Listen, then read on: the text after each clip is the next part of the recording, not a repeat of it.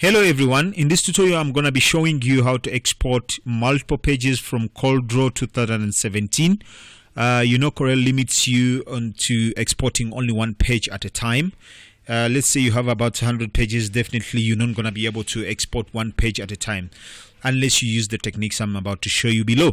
So what you need to do, you need to click on tools, go to macros, uh, run macros and then uh, on this uh, panel here we need to go to the macros in field and then select the file converter.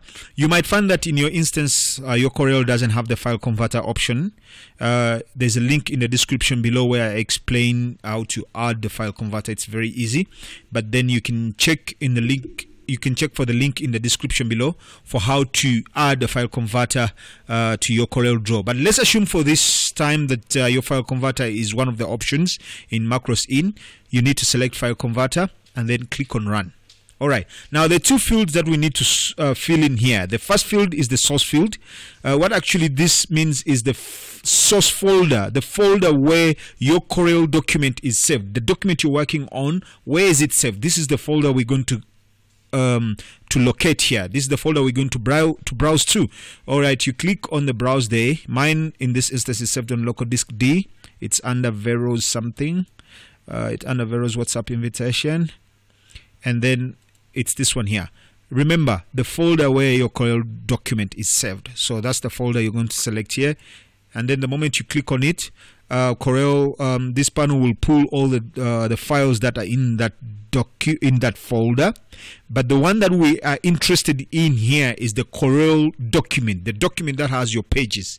So normally Corel serves two documents the the backup one and the original one. So I'll select the original one and then click on add. Then from there I'll click OK and now we need to uh, to to fill in the second field here which is the destination. So the destination is where Corel is going to put all our exported files. So in this in this instance I'm exporting some JPEGs. This uh, I need these pages to export as JPEGs. So Corel is asking me where are we going to put those files after we export them? So we click on this uh, icon here to select where these files are going to be exported to.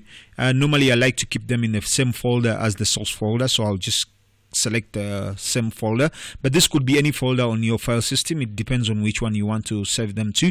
In my case I just want to save it to the same folder as the one with the source files. Okay then I, when I, when I finish filling in that second field on the third field it's the convert to this is the file type that Corel is going to convert uh, your uh, exported uh, images to or exported pages to. Uh, it's actually asking you what file type do we export it to. In my instance, I want to export it as JPEGs. I wanna all I want all these pages to be exported as JPEGs. So I'll select JPEG, uh, which is this one here.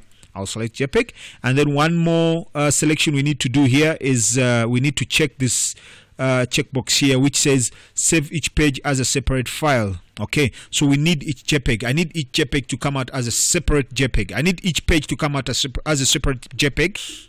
I need to check this checkbox here so that Corel can export each and every page of mine as a separate JPEG. And then with that selected that's all. All I need to do now is to click on convert and then I will let Corel do the rest. Wait until it finishes.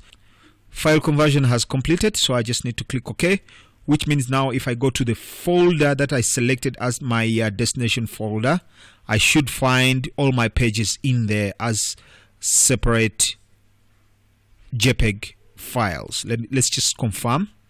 Uh, I'll go to um, where it is. It's on D and uh, it's under Vero's WhatsApp invitation. It's this folder. Now you can see each and every image in my document is exported as a separate file. If I can check one that's one there. Uh, that's the second one that's the third one so on and so forth so guys that's exactly how you export your pages from CorelDRAW 2007 uh, in one go. You export multiple files in one go. Um, in that way that was it for today guys. If this tutorial was helpful to you please don't forget to show some love.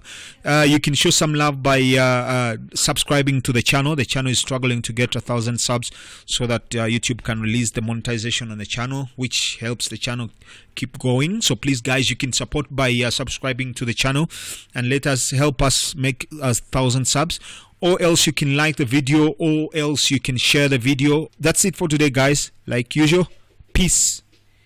I'm out